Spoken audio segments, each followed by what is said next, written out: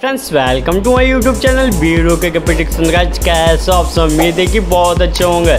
तो दोस्तों, आज हम बात करने वाले इंडियन प्रीमियर लीग 2023 के 11 टी ट्वेंटी मैच के बारे में। दोस्तों मैच होने वाला है राजस्थान रॉयल्स और दिल्ली कैपिटल्स के बीच में। दोस्तों, अगर मैच की पूरी अपडेट है तो वीडियो के लास्ट तक बने रहें और आगे बढ़ने से पहले, अगर आप हमारे चैनल पर नए तो हमारे चैनल को लाइक एंड सब्सक्राइब करते चले, ताकि हर वीडियो की जानकारी आपको पूरी मिलती रहे। तो दोस्तों, आगे बढ़ने से पहले हमारे स्क्रीन पर हमारा व्हाट्सअप नंबर दिया हुआ है तो आप हमें कॉन्टैक्ट कर सकते हैं, जिससे आपको टॉस मैच सेशन की पूरी जानकारी दी जाएगी। और हमारे डिस्क्रिप्शन बॉक्स में भी हमारा नंबर मैंसन किया हुआ है। तो अब आगे बढ़ते हैं, चलते हैं मैच। की और ये मैच होने वाला है आठ अप्रैल को। इंडिया टाइम के अकॉर्डिंग दोपहर के तीन बज के तीस मिनट पर यह मैच स्टार्ट होगी। यह मैच खेली जाएगी बरसफरा स्टेडियम, गुवाहाटी, असम, इंडिया में। आप बात करते फ़ैन दोनों टीमों का टीम फॉर्म चेक करते हैं। रिसेंटली पाँच मैच में दोनों टीमों का परफॉर्मेंस क्या देखने को मिला?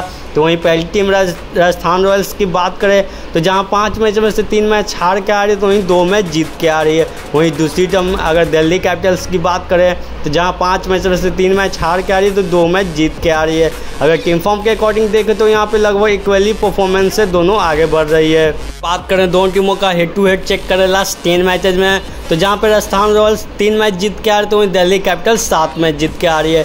तो यहाँ पर हेड टू हेड के अकॉर्डिंग बात करें तो यहाँ पर दिल्ली कैपिटल्स चार मैच से आगे चल रही है। अब आगे बढ़ते फ्रेंड ज़्यादा देर ना करते हुए दोनों टीमों का टीम कंपेरिजन करते हैं। लास्ट टेन मैचेस में क्या क्या एक्सपेक्टेशन देखने को मिल सकते हैं। तो पहली कंपेरिजन विनिंग परसेंटेज की बात करें तो जहाँ पर राजस्थान रॉयल्स का 50 परसेंट देखने को मिल रहा है तो वहीं दिल्ली कैपिटल्स का 40 परसेंट देखने को मिल रहा है। एवरेज स्कोर की बात करें तो राजस्थान रॉयल्स का 170 है तो वहीं दिल्ली कैपिटल्स का एक सौ पैंसठ है। हाइस्ट स्कोर की बात करें तो राजस्थान रॉयल्स का 203 है तो वहीं दिल्ली कैपिटल्स का 207 है। लोएस्ट स्कोर की बात करें तो राजस्थान रॉयल्स का 130 है तो वहीं दिल्ली कैपिटल्स का 117 है। तो ये रहे दो टीमों का टीम कंपेरिजन अगर इसके अकॉर्डिंग बात करें तो यहाँ पर कंपेरिजन के मामले में दोनों का इक्वली परफॉर्मेंस देखने को मिल रहा है। अब आगे बढ़ते हैं, चलते हैं वेदर की और आज का मैच है वेदर कैसी रहेगी? तो मोस्टली सन्नी रहने वाली है। 36.5 डिग्री सेल्सियस देखने को मिल सकती है। अगर वहीं ह्यूमिडिटी की बात करें तो छियासी परसेंट रहेंगी। वहीं दो परसेंट वर्षा होने की चांसेस रहेगी। तो ये रहे आज के मैच के वेदर की रिपोर्ट अब आगे बढ़ते हैं, चलते हैं पिच की और आज का मैच इस पिच पे कैसा होने वाला है? इस पिच का फ़र्स्ट इनिंग का एवरेज स्कोर की बात करें तो इस पिच पे फ़र्स्ट इनिंग में एक सौ नब्बे, पंचानवे में भी रन लग सकती हैं वहीं अगर सेकेंड इनिंग की बात करें तो सेकेंड इनिंग में भी लगभग उतना ही रन लग सकता है।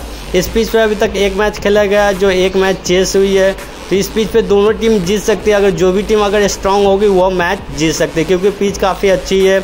जो भी टीम अगर टॉस जीत के बॉलिंग करती है तो वो भी मैच जीत सकती है। और डिफेंस में भी काफ़ी अच्छे रन स्कोर बनाए जा सकते हैं। तो फाइनली हमने हर एक चीज़ पे अभी डिस्कशन कर ली।